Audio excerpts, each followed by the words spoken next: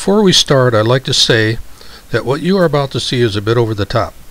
It's hard to believe that they exist in the real world. I'm not saying they do or they don't, but like I have said many times before, I don't think the camera is taking pictures of something that isn't there.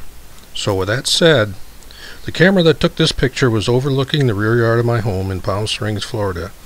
To me it appears to be a huge face, not pretty, but has two eyes, a nose, mouth, and seems to have its right fist resting up against its jaw while thinking, What are you doing? To give you a better idea of where this picture came from, I will slow down the film so you can watch the image materialize and eventually disappear. It's quite evident that at times it appears transparent. This picture, by the way, is not shown in my book, The Alien Connection.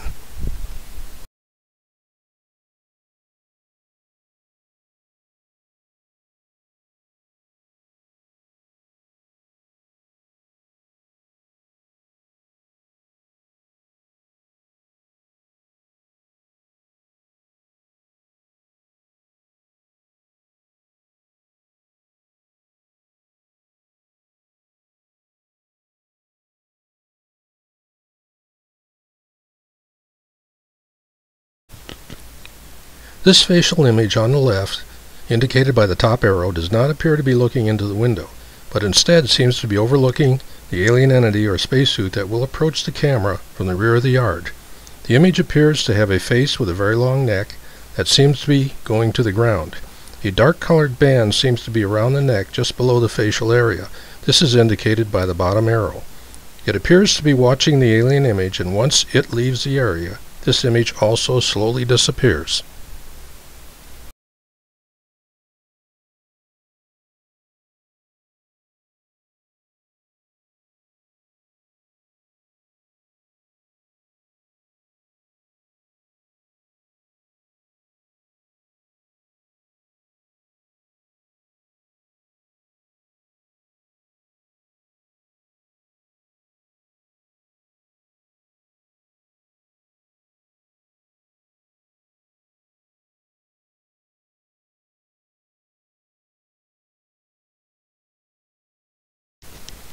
The following observations may or may not be significant, but they are on film.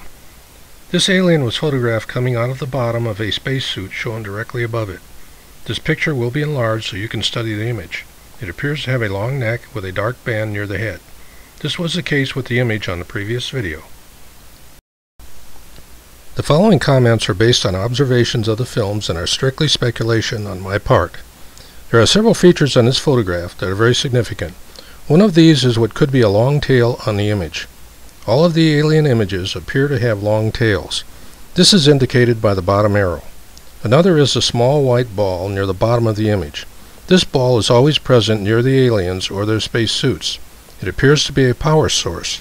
The head is indicated by the top arrow. The neck and dark bands are shown by the center arrow. It seems to be the case that when aliens come to this planet, they're always in space-type suits or disguises. The only other time they have appeared on film is when they are still in a transporter or energy beam. This picture was taken moments after an alien image left a spacesuit and is fairly obvious the alien entity is inside of this suit or disguise. This was previously shown in the Alien Connection video 2 of 15.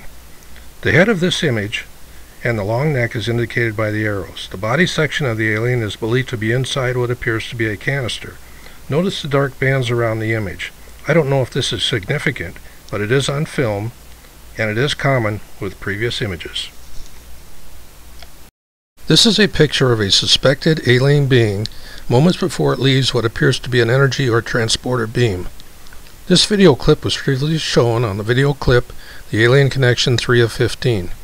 The next photograph will show this type of alien being inside what appears to be another type disguise or protective suit.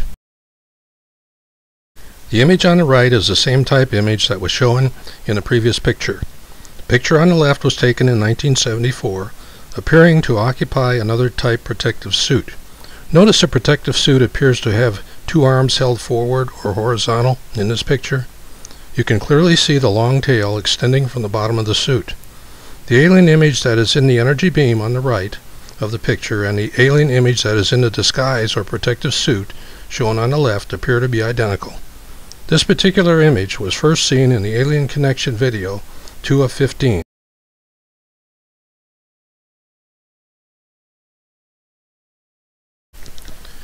This picture shows three different alien beings. The two images on the left were photographed from a different angle, more or less showing a side view of the images, which reveals more detail of the image than the photograph on the right.